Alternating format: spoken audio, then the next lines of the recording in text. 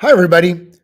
We're today we're finally hopefully going to answer this question that we had from the very beginning of the unit where we had these two heating systems from the school and which one would heat the school better. And it's tough because each one of these systems has more of something. The small tank has more temperature. It's it's higher.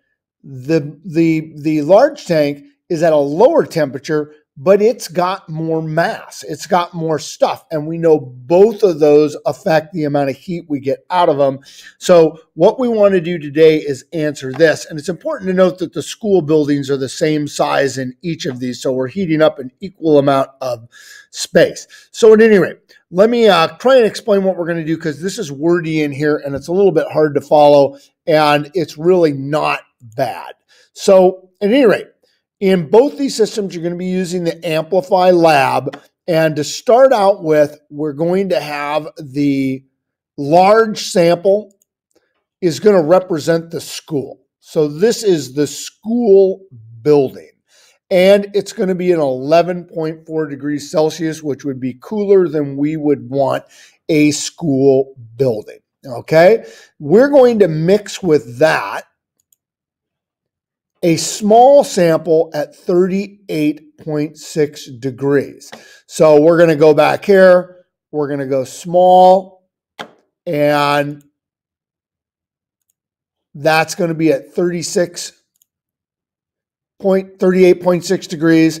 We're going to mix them and this right here is the water tank. This is the amount of water we have and it's at 38.6 degrees.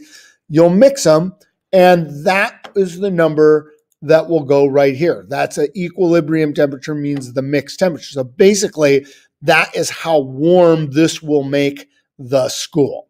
For the second one, now we're trying to model the second school. And we're going to go ahead and I'll rebuild this. Once again, the schools are the same size and same temperature. So I'm going to select a large. I'm going to cool it to 11.4. This now represents the school building. This one is going to represent the is going to represent the heating system. And this heating system now we have or excuse me this is a large sample and this is at 29.5 degrees. 29.5 degrees. So I've got to come here. I've got to pick a large sample and I got to move it up to 29.5. Now I'm going to mix them and I'm going to let them hit equilibrium and I'm going to write that right there. So what this is simulating is both times, oh, sorry, both times we have the same size building that's that large container at 20 at 11.4 degrees Celsius. And so we're going to put that in and then this small sample is going to be a small sample. We're going to set it to 38.6.